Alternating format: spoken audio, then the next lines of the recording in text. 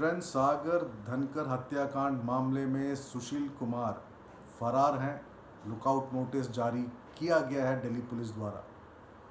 अब एक खबर आ रही है जागरण के हवाले से, जो मैं आप लोगों के साथ शेयर कर रहा हूँ। खबर ये आ रही है कि भूरा ने बताया है कि हरिद्वार में सुशील कुमार एक आश्रम में रह रहे हैं, जहाँ पर भूरा ने ही सुशील कुमार को ड्रॉप किया था।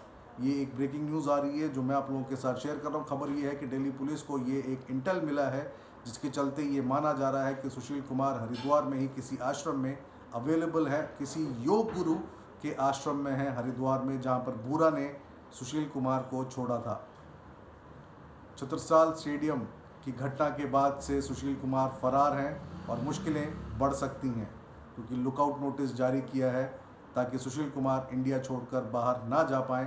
लेकिन अब तलाश जारी है। जो ब्रेकिंग न्यूज़ आई, जागरण के हवाले से वो मैंने आप लोगों के साथ शेयर करी। फ़िलहाल इतना ही। कुछ और खबरों के साथ फिर जुड़ूँगा। धन्यवाद।